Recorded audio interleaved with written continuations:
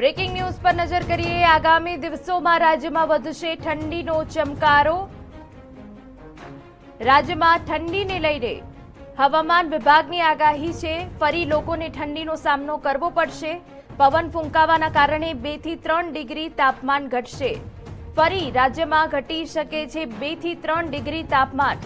રાજ્યમાં ઠંડીને લઈ હવામાન વિભાગે આગાહી કરી છે. જે મુજબ, આગામી દિવસોમાં પવન ફૂંકાવાના કારણે ઠંડીનો ચમકારો વધશે. આગામી પાંચ દિવસ રાજ્યમાં સૂકું વાતાવરણ રહેશે. પરંતુ રાજસ્થાનમાં સાયક્લોનિક સર્ક્યુલેશન એક્ટિવ થતા ગુજરાતમાં ઠંડીની અસર જોવા મળશે.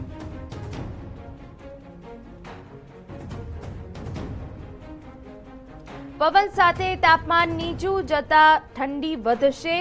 રાજ્યમાં બેથી ત્રણ ડિગ્રી તાપમાનમાં ઘટાડો આવશે એટલે રાજ્યમાં હજુ ઠંડીનો ચમકારો યથાવત રહેવાનું છે. ફરી એક વખત રાજ્યમાં ઠંડીનો ચમકારો વર્તાશે.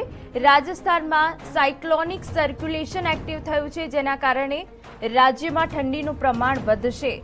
રાજ્યમાં બેથી ત્રણ ડિગ્રી હજુ પણ તાપમાનનો પારો ગગડી શકે છે. પવન ફૂંકાઈ શકે છે અને તેની સાથે આકરી ઠંડી પડશે.